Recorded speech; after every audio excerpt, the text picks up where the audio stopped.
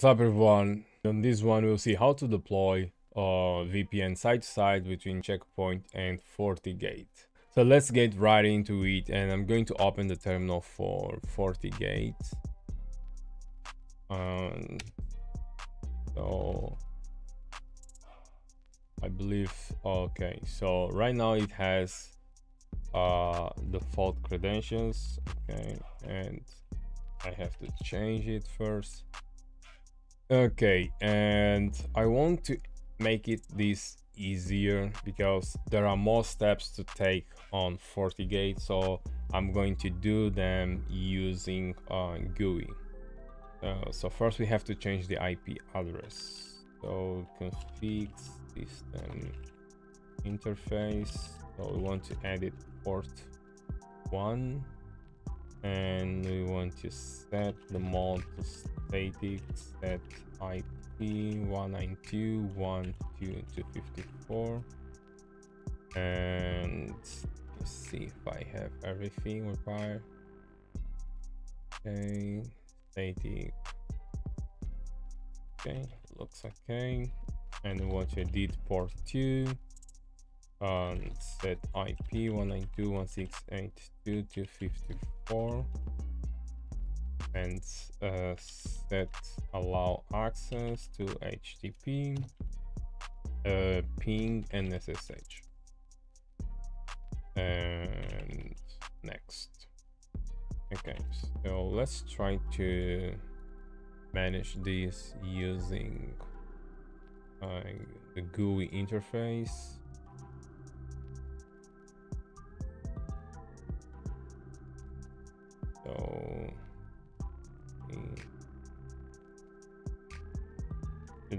able to log on to 192.254 okay.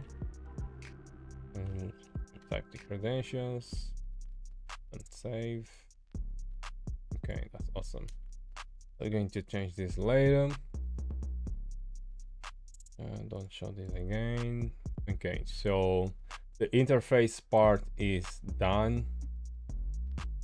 So network static routes where we need a default route first toward our R4 so that's going to be 192.1.2.1 and the interface is going to be port 1 okay. Let's look okay. And the next one will be uh policy and objects. So first let's just test whether this pc is able to reach r4 and we're going to create a new policy. We're going to name it uh, LAN to internet. This should be incoming from port 2 to port 1 source and I'm going to create a new object. And that's going to be 192.168.20 underscore 24 and subnet will be 192.168.20 and this is going to be slash 24 okay and we're going to add this object as the source and destination is going to be all.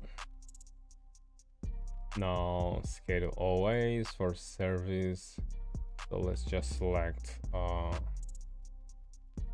HTTP and telnet. Okay. And we want to use net and that should uh, okay that should be enough. Okay. So if I try to telnet to 192.168.192.121 okay. So this means um this pc is able to reach r4 awesome we can close this so now let's begin the vpn configuration so first part uh, is going to be IPsec tunnels. Create a new one, IPsec tunnel.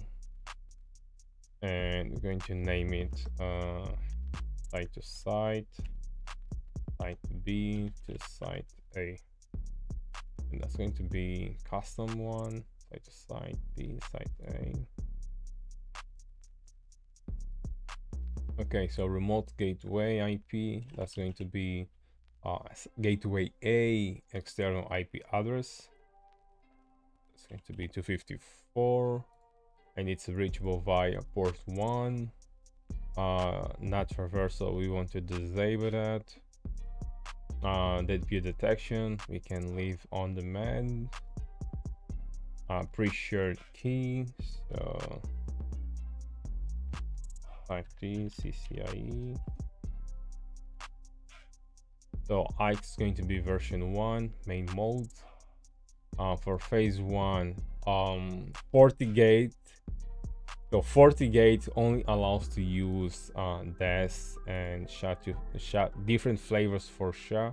We're going to select DES and SHA-256 and going to delete all the other options. And we want to use uh, Diffie-Hellman Group 2.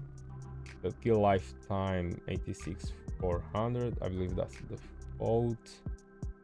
And we won't select phase 2 parameters so our local address is going to be 192.168.20 and the mask is going to be 24 and remote is going to be 192.168.10 and the mask is going to be slash 24 okay now let's look at phase 2 parameters. There will be DES and SHA-256 as well. We're going to delete uh, the remaining options. I want to disable PFS and that should be enough. Okay so let me confirm we're using DES and SHA-256 okay going to press okay going to disable these. And some reason okay let me change this first. Save. Okay now let me edit. Uh so it's going to be phase one. Uh, it has to be 256 yeah. Okay. So this is done. And now I need a static route for these networks. So network static route. Going to add a new one. So that will be 192.168.10 and the mask is going to be 255.55.50 and this is going to be reachable via site to site. Uh via the vpn okay and we will need to add another network another object uh, to create a black hole. So this traffic for this network is always routed through uh, the vpn so it's going to be 192.168.0 and it's going to be 255 550 and going to be 254 and I want to cause this to be a black hole. So that's going to be the less uh, the least preferred option. We're going to enable this. Okay. So now uh, let's create the policy for this one and first we're going to create an inbound rule. So let's call it inbound. And that should come from VPN and going to port 2 so as this is inbound uh, I need to create uh, the object for this one. Uh, it's going to be 192.168.10 24 and the network 192.168.1.0 5555550 okay. I select this object.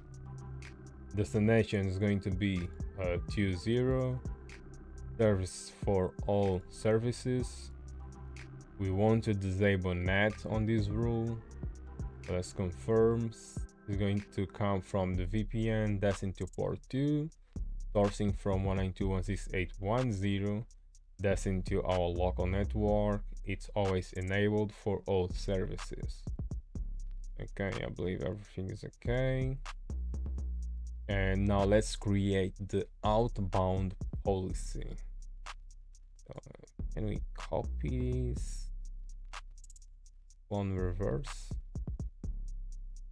okay let's see. So let's call it outbound incoming port 2 destination vpn source our local network destination our remote network and that's what we want.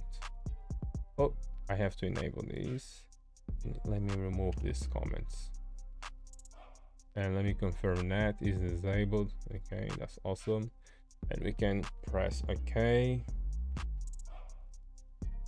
And everything should be in place now. All source interfaces are down. Okay not for too long.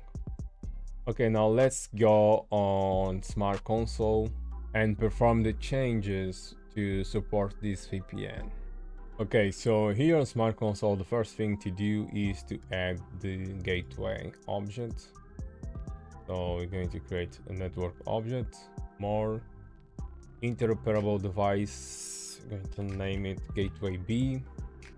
Select another color it's going to be brown this time. And its ip should be 1 2 254 we're going to press ok.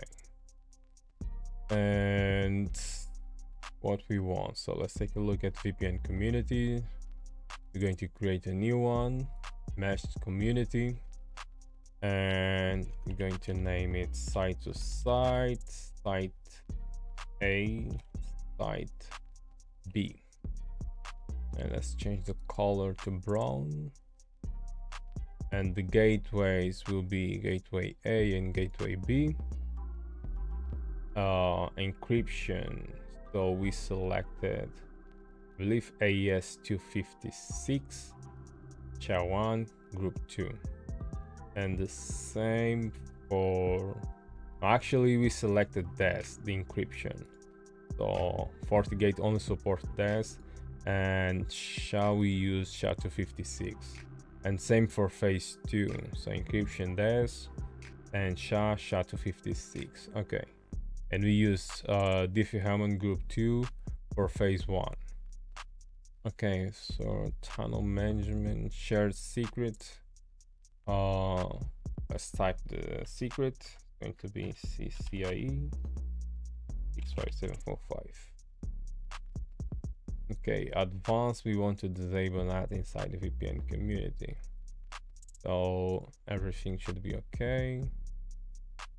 Um yes it's insecure but that's what we have okay so let's create the policy and we're going to copy this one and paste below and change something here site b and the ip address. We have to create a new object. Okay and that should be uh 192.168.20 underscore 24 that should be brown now type the network 192.168.20.255.255.250 and that's okay and we want to remove these and drag and drop the same object here and we want to change the VPN community to site A, site B. Everything else looks okay. Uh, we have to add uh, this network to uh, uh, group object. So it's going to be 192.168.2.0 and lastly we have to add uh, 192.168.2 uh, as the VPN domain for this gateway. Okay. That should do it so now let's press ok and install the policy